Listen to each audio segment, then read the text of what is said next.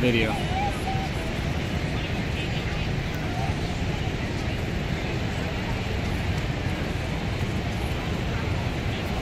Oh, oh, what was it? What it?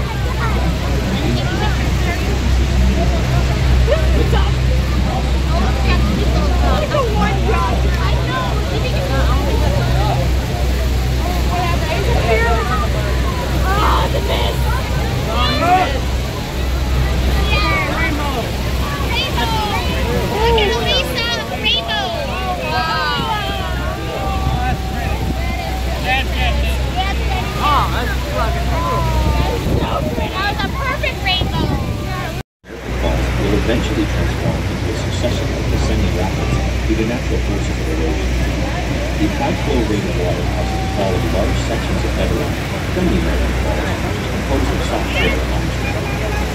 Though the height of the American Falls is higher than its Canadian counterpart, no daredevil ever preferred to go over the American Falls. All stunts were performed in the Canadian Ocean Falls, which is more popular with its much water flow rate